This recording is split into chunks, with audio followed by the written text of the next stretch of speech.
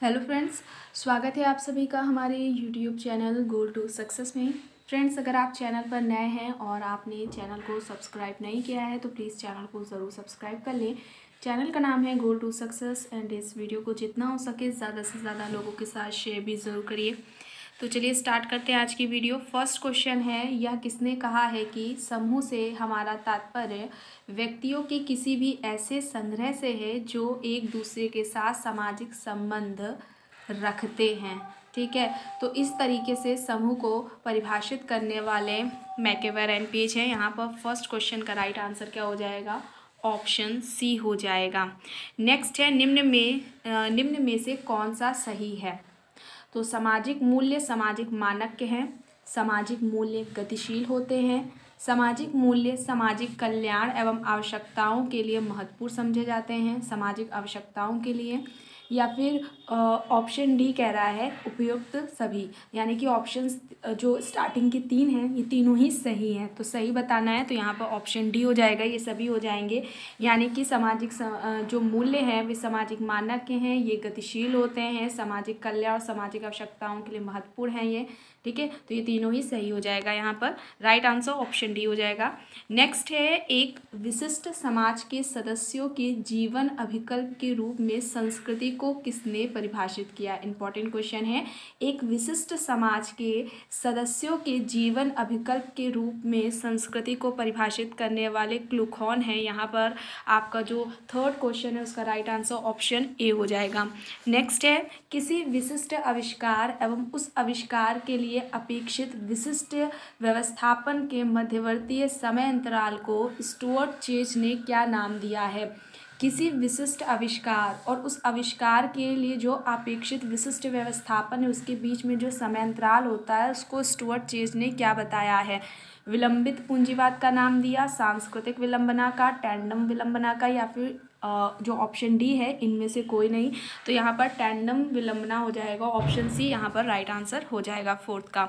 Next है, कौन ग्रामीण समुदाय की यहाँ पर विशेषता नहीं है? तो ज्वाइंट फैमिली संयुक्त परिवार, औपचारिक नियंत्रण जाति प्रथा या फिर भाग्यवादी तो यहाँ पर विशेषता नहीं पूछी गई है तो औपचारिक नियंत्रण हो जाएगा। यहाँ पर राइट आंसर क्या हो जाएगा? फिफ्थ का ऑप्शन बी हो जाएगा।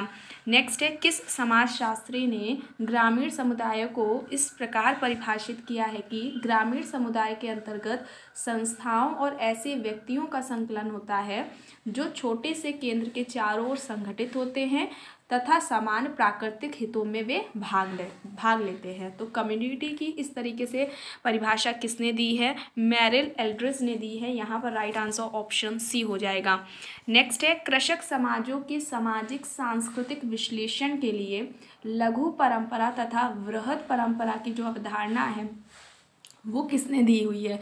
तो आप सभी जानते हैं, ये आपके एग्ज़ाम में काफ़ी बार पूछा गया है, रॉबर्ट रेडफील्ड है। यहाँ पर सेवन्थ का राइट आंसर ऑप्शन बी हो जाएगा। नेक्स्ट क्वेश्चन है, ग्राम नगरीकरण की जो अवधारणा है वो किसने दी है? ग्राम नगरीकरण की अवधारणा तो जे गॉल्पिन हो जाएगा। यहाँ पर क्या हो जाएगा? हो जाएगा। जे गॉल्पिन हो जाएगा। राइट आंसर एट्थ का ऑप्शन बी हो जाएगा।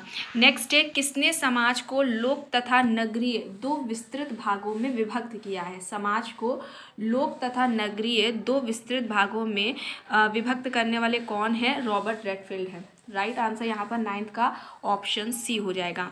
नेक्स्ट है, भारतीय गाँवों में आत्मनिर्भरता एक मिथ है। ठीक है, आत्मनिर्भरता को भारतीय गाँव में एक मिथक किसने बताया, मिथ किसने बताया है?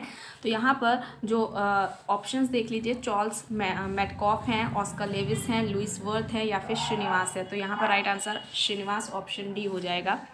नेक्स्ट है, निम्न में से कौन सा यहाँ पर सही नहीं है? कॉन्सेप्ट्स दिए गए हैं तो मानव पारिस्थितिकी का रॉबर्ट ई. पार्क, नगरवाद जीवन के एक ढंग के रूप में लुइस वर्थ गरीबी की संस्कृति लिंटन या फिर लोक नगरीय निरंतरता रॉबर्ट रेडफील्ड का। तो यहाँ पर सही नहीं, यानी कि गलत बताना है। तो गरीबी की संस्कृति, ये लिंटन का नहीं है। अच्छा आप लोग कमेंट करके बताइएगा कि जो गरीबी की संस्कृति की अवधारणा है, वो किसने दी है? ठीक है? यहाँ पर राइट आंसर क्या है? ऑप्शन सी है। नेक्स्ट है, अभिजन का संचार। ये जो सिद्धांत है वो किसने दिया है? ठीक है? अभिजन का जो संचार का सिद्धांत है, वो किसने दिया है? तो वो पैरेटो का है। अवधारणा, यहाँ पर राइट आंसर ऑप्शन बी हो जाएगा। नेक्स्ट है मार्क्स के अनुसार जब उत्पादन प्रणाली बदलती है तो समाज की किस चीज़ में समाज में परिवर्तन देखने को मिलता है? अधोसंरचना में अधिसंरचना में देखता है, देखने को मिलता है या फिर संस्थाएँ, संस्थाओं में देखने को मिलता है या फिर इनमें से किसी में भी नहीं। तो यहाँ पर क्या होगा, जो अधिसंरचना है, उनमें परिवर्तन आता है। जब मार्क्स मार्क्स कहते हैं कि जब उत्पादन प्रणाली में बदल, बदलाव आता है या उत्पादन प्रणाली बदलती है तो समाज की जो अधिसंरचना है, उसमें भी बदलाव देखने को मिलता है। यहाँ पर थर्टीन का राइट आंसर ऑप्शन बी हो जाएगा। नेक्स्ट है टॉयनबी के अनुसार सामाजिक परिवर्तन किसके द्वारा होता है? टॉयनबी ने कहा है कि सामाजिक परिवर्तन किसके द्वारा होता है, इनमें से बताना है। उत्पादन की शक्तियों में जब परिवर्तन आता है तो समाज में परिवर्तन आता है। चुनौती और प्रत्युत्तर के द्वारा बात की उन्होंने, विधान और संविधान के द्वारा, या फिर वैचारिकी परिवर्तन के द्वारा समाज में परिवर्तन की बात की है। किसने? टॉयनबी का बताना है। ठीक है तो चुनौती और प्रत्युत्तर होगा। यहाँ पर राइट आंसर फोर्टीन का। ऑप्शन बी हो जाएगा। नेक्स्ट है, जाति उत्पत्ति का व्यावसायिक सिद्धांत किसने दिया है? तो ये व्यावसायिक सिद्धांत देने वाले कौन हैं? जाति उत्पत्ति का नेसफेल्ड है। यहाँ पर फिफ्टींथ का राइट आंसर ऑप्शन बी हो जाएगा। नेक्स्ट है, गिलिन एंड गिलिन ने प्रतिस्पर्धा के कितने प्रकार की बात की है, ठीक है? और वो कौन से हैं? ठीक है? यहाँ पर होगा कौन से है? ठीक है? गलत हो गया है। तो गिलिन एंड गिलिन ने प्रतिस्पर्धा के कितने प्रकार का उल्लेख किया है, ठीक है? तो मेनली आंसर में बताना है कौन कौन सी वो हैं। वैतिक प्रतिस्पर्धा अवैतिक प्रतिस्पर्धा ऑप्शन सी ए और बी दोनों ही, या फिर ऑप्शन डी इनमें से कोई नहीं। तो यहाँ पर वैतिक और अवैतिक प्रतिस्पर्धा दोनों ही हो जाएगा। यहाँ पर राइट आंसर ऑप्शन सी हो जाएगा। इंपॉर्टेंट है, देख लीजिएगा। नेक्स्ट है, ऐसा कोई प्रमाण नहीं है कि ग्रामीण व्यक्ति अधिक मूर्ख या नगर निवासी अधिक आडंबर पूर्ण होता है। गाँव और नगर दोनों ही समाज है। कोई भी एक दूसरे से ना अधिक प्राकृतिक है और ना ही क्या है वो? कृत्रिम है।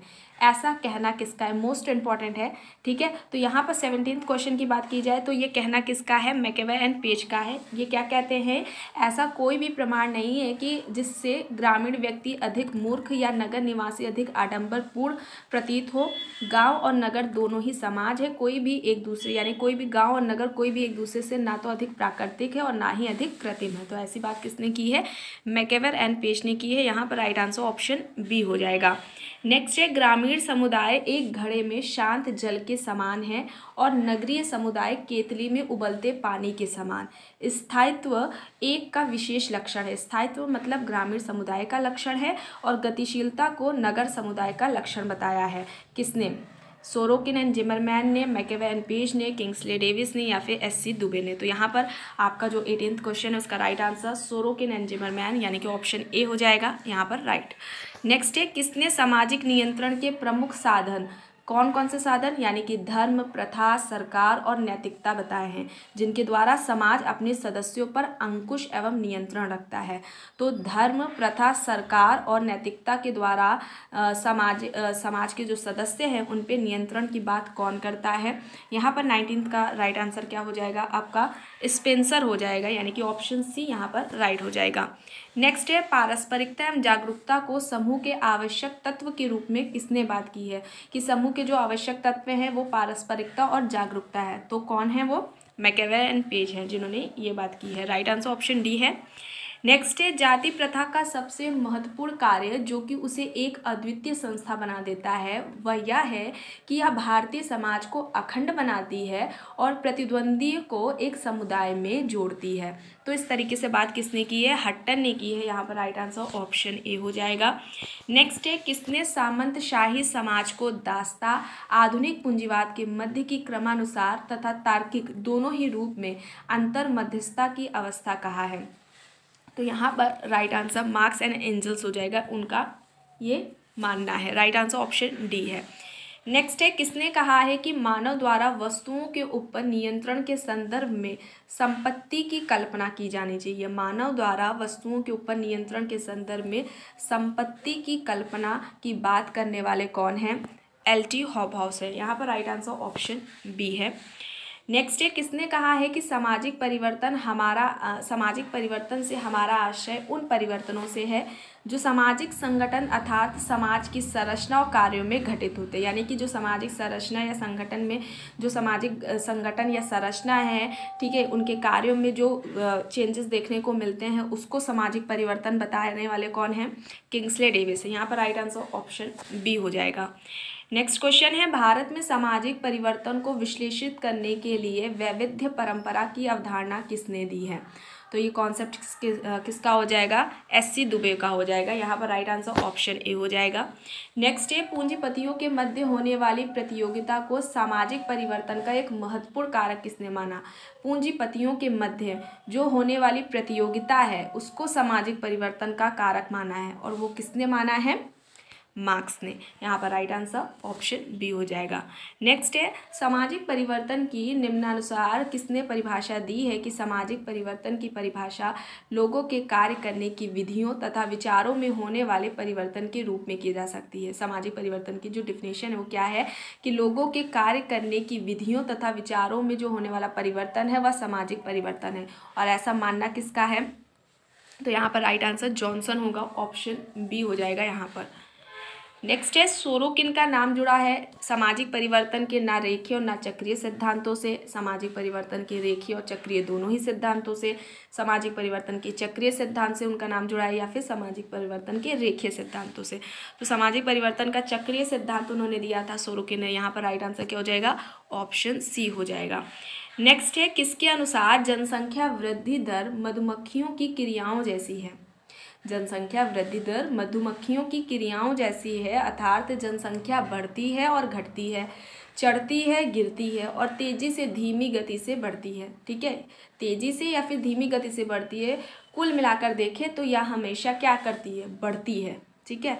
तो इस तरीके से बात किसने की है? रेमंड पर्ल ने की है। राइट आंसर ऑप्शन सी है यहाँ पर। नेक्स्ट है सामाजिक गतिशीलता व जनसंख्या वृद्धि में विपरीत संबंध है।